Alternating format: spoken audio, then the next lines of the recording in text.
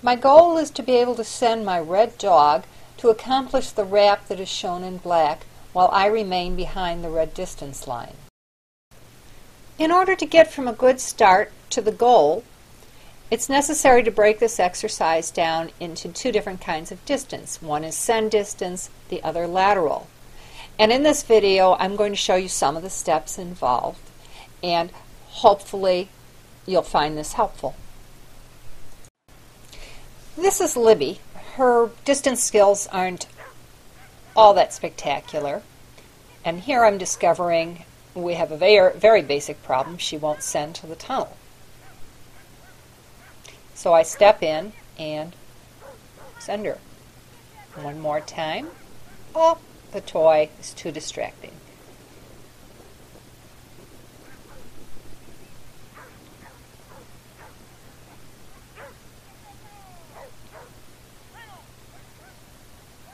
I pass the plane of the jump because I have to get her to the tunnel before I can work on increasing my dis distance. This time I could stay further back. Notice the reward is tossed way out there, so she has to run for it. And this time I'm able to stay even further back, but unfortunately she circles back on me.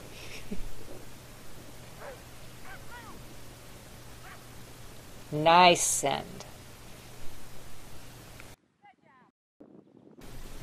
This is my wild child, Dusty.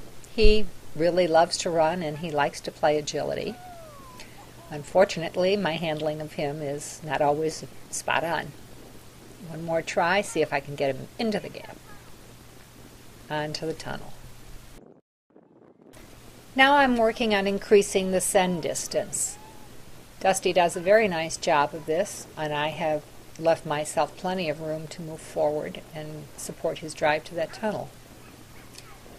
This time, I try to stop and send him on. And he goes, but he slows down on his tunnel approach. One last shot at this. This time I'm going to go with go with him and run all the way just so that he really drives to the tunnel.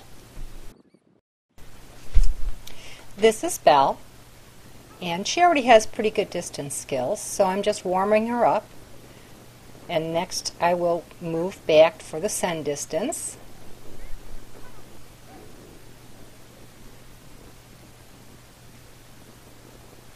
And then I will move to the side to demonstrate the lateral portion. Whoops, little hobble there.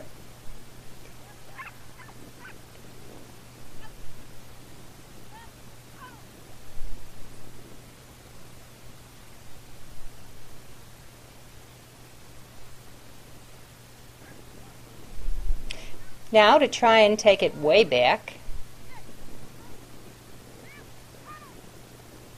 And that worked out pretty well.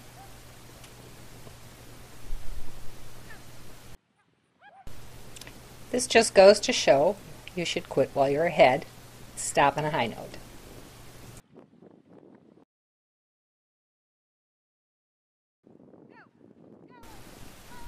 This is my second session with Belle. And I've worked my way back to the goal position that I've set for myself.